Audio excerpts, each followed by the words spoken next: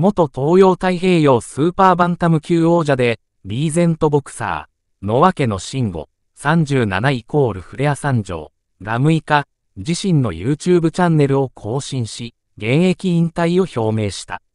写真、練習後に小口哲会長、右から乱れたリーゼントを整えてもらうわけの慎吾。わけ慎吾はボクシングを引退します。8月27日に東洋太平洋スーパーバンタム級タイトルマッチで王者、中島一騎、大橋、に2回 KO 負け。その試合後に、今すぐには考えられないが、すっきりしていると引退を示唆していた。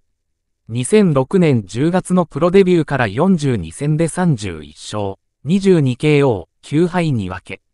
スーパーバンタム級で東洋、日本の王座を獲得し、16年7月には IBF 世界王座にも挑戦した。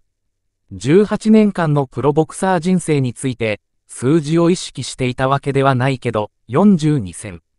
頑張って続けた結果がこれ。一戦一戦に集中して、減量中は免疫力の低下など体調管理が難しい中で、怪我や風邪とかめちゃくちゃ気を張って注意しながら、いつも万全でリングに上がれたのは奇跡。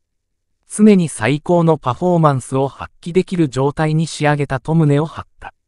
最後の試合となった中島戦について、大きな舞台を用意してもらって。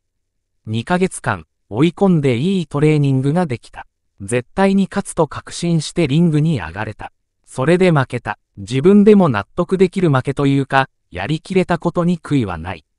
いいタイミングでリングを降りられた、などと語った。共に出演したフレア三条の赤い代表は、わけのが、やりたい、と言えば、辞めた方がいいんじゃないかという話をしようと思っていたと賛意を示した。また、赤い代表は引退式の準備を進めており、今年中、12月の興行になると思う。おそらく弾丸さんの興行でと状況を説明した。